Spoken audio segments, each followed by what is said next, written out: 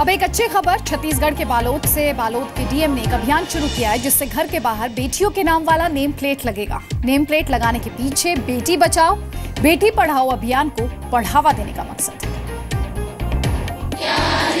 है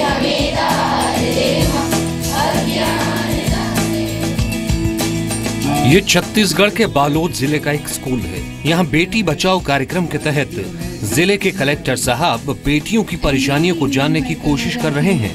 मैं जानना चाहती हूँ कि इसके लिए हमें क्या करना है। इसी अभियान में कलेक्टर साहब ने एक शानदार पहल की और स्कूल की बच्चियों को एक नेम प्लेट दिया जिसमें उनका नाम लिखा है। सबसे अच्छी बात यह है कि सबसे पहले लड़की का नाम फिर नीचे उनके परिवार वालों का नाम है।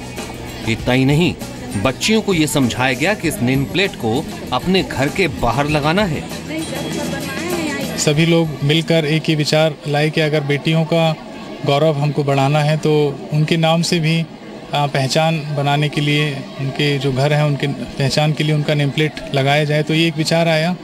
और सभी सरपंचों के और यहाँ जो वार्ड के जो प्रतिनिधि हैं, उनके सहभागिता से इसको अभी शुरू किया गया है।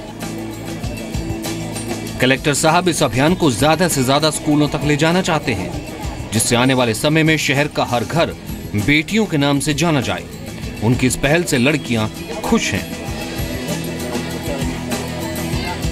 हमारे जिलाधीश महोदय ने हमें बहुत अच्छा आंसर दिया।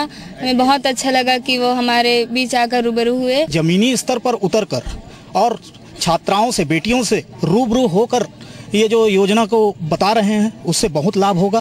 हमारे देश में प्रधानमंत्री नरेंद्र मोदी ने राष्ट्रीय स्तर पर बेटी बचाओ, बेटी पढ़ाओ अभियान की शुरुआत की थी, जिसके बाद से अलग अलग राज्यों अलग अलग जिलों में इस अभियान को आगे बढ़ाया जा रहा है। Bureau report, Zee Media.